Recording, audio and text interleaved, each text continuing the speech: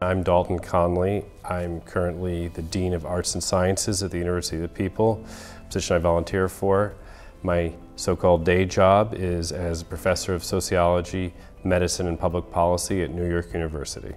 I like to call us the world's greatest small liberal arts college that happens to be online and tuition free and global. Um, I, I think that we really try to provide the total wraparound college services, including student services and advising.